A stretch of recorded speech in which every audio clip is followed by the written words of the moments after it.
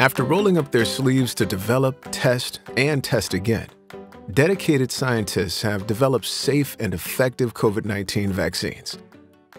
When it's time for you to get yours, don't hesitate to vaccinate. Here's why. Scientists were able to develop safe vaccines quickly because they didn't start from scratch. Thanks to years of research for other vaccines and a worldwide effort, COVID 19 vaccines are here. COVID 19 vaccines passed extensive review and are proven to be up to 95% effective. Georgia, when the time comes, let's all roll up our sleeves. Together, we can end this pandemic. For more information, visit dph.georgia.gov slash COVID-vaccine.